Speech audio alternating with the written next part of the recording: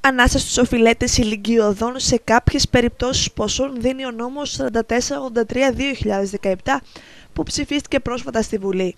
Πρόκειται για μια ευνοϊκή ρύθμιση σε όσους οφείλουν χρήματα στους Δήμους από προσκυρώσεις και ερημοτομήσεις σε εφαρμογή του σχεδίου πόλεως.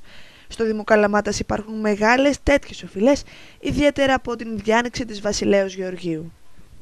Ε, με το πολυνομοσχέδιο το οποίο ψηφίστηκε πρόσφατα στην ε, Βουλή, ε, υπάρχει διάταξη με την οποία προβλέπεται η επαναβεβαίωση των οφειλών των ε, πολιτών από τις ε, προσκυρώσεις και τις ρημοτομήσεις. Και ξέρετε και στο Δήμο έχει αναδειχθεί πάρα πολλές φορές ότι υπάρχουν ε, μεγάλα ποσά σε τέτοιου είδους ε, οφειλές που μάλιστα έχουν φτάσει σε δυσθεώρητα ύψη με τα πρόστιμα και τις προσαυξήσεις. Όπως ανακοίνωσε συνέντευξη τύπου ο Αντιδήμαρχος Οικονομικών και Διοικητικών Θανάση Ηλιόπουλο, με τον νόμο αυτό οι Δήμοι υποχρεούνται να επαναβεβαιώνουν τις σχετικές οφειλές, που σημαίνει ότι θα σβηστούν τα πρόστιμα και οι προσαυξήσεις, ενώ η αποπληρωμή της οφειλής θα μπορεί να γίνει μέχρι και 180 δόσεις. Προβλέπεται λοιπόν η επαναβεβαίωση, που σημαίνει ότι επαναβεβαιώνεται το κεφάλαιο, άρα διαγράφονται τα πρόστιμα και οι προσαυξήσεις και κατά συνέπεια ε, μπορούν να ρυθμιστούν τα ποσά αυτά μέχρι και σε 180 δόσεις, ε, δηλαδή σε 15 χρόνια. Άρα δίδεται μία ευκαιρία σε αυτούς οι οποίοι έχουν τέτοιου είδους οφειλές να τις τακτοποιήσουν με έναν πάρα πολύ ευνοϊκό τρόπο.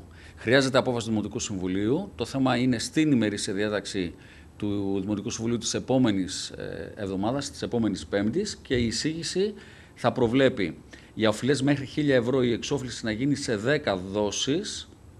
Κάθε μία θα είναι των 100 ευρώ.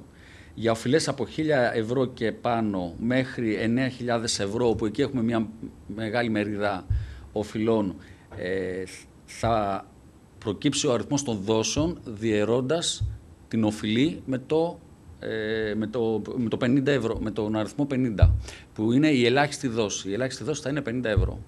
Άρα να, ε, το κάνουμε αυτό για να δώσουμε τη δυνατότητα να υπάρξει όσο το δυνατόν καλύτερη αποπληρωμή από τους οφειλέτες. Και για 9.000 ευρώ και άνω μέχρι αυτή τη στιγμή είναι, ε, αν θυμάμαι καλά, η μεγαλύτερη οφειλή γύρω στις 330.000 ευρώ. Πάντοτε το τονίζω για αυτές τις ε, οφειλές από προσκυρώσεις και ρημοτομήσεις. Η οφειλή θα προκύψει με την ε, διαίρεση του ύψους της οφειλής με το 180.